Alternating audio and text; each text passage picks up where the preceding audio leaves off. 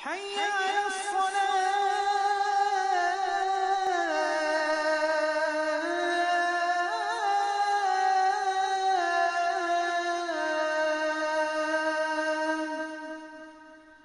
حي على الفلاح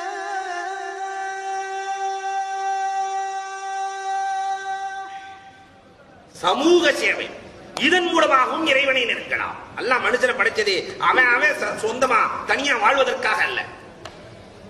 நம்மால் பல பேர்களுக்கு நன்மை கொடுக்க வேண்டும்.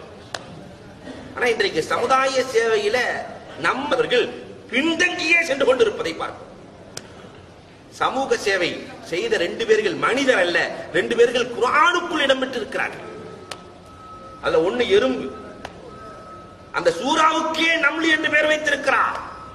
அந்த எறும்பு என்ன சொன்னது? காலத் நம்மளுக்கு நியாயுகன்னம் ஒதுகுடு மசாக்கினக்கும் லா யஹ்தி மன்னக்கும் சுலைமான் ஒரு நாலஞ்சு மைலுக்கு அங்கிட்டு சுலைமான ஒரு பட்டாளம் வந்துகிட்டு இருக்கிறாங்க.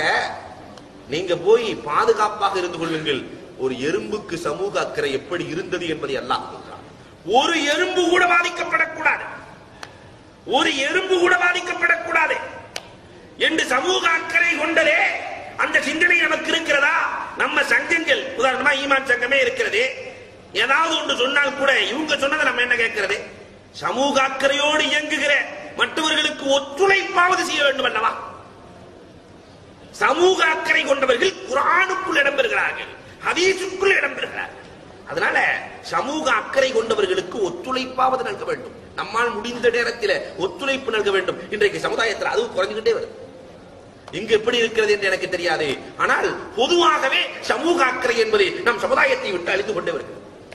இரண்டாவது ஹுதுகுது பறவை.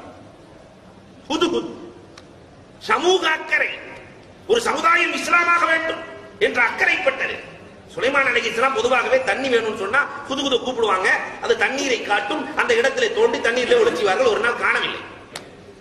குரான் சொல்லுகிறது. புது புது வரட்டும். கைமா போற்ற வேண்டியதுதான். இன்னைக்கு கறி நமக்கு அதான் என்று சுலைமான் அலைஹி இஸ்லாம் பேசிக் கொண்டிருக்கிறார்கள் சுலைமான் அலைஹி இஸ்லாத்தினுடைய வீக்னஸ் தெரிஞ்சு வச்ச பறவை. பொதுவாகவே நம்ம வாப்பாவினுடைய வீக்னஸ் புரிஞ்சுக்கிட்டு சில பசங்க அவர் சாப்பிடும் போது போய் சொன்னோம்னா எதா இருந்தாலும் சரின்னுவார். சில வாப்பாமார்கள் அவர் சாப்பிட்டுட்டு இருக்கும்போது ஆ அதான் சரி. ஐயாயிரம் ரூபாய் வேணும். சரி அதை பத்தி பிரச்சனை இல்லைன்றவார். இதே மாதிரி சுலைமான் அழகி இடத்துல போய் சொன்னதான் ஒரு புதிய செய்தியை கொண்டு வந்திருக்கிறேன். என்று சொன்ன உடனே உலகம் ஆண்ட அரசர் அல்லவா? எனக்கு தெரியாத புதிய செய்தியா? என்ன?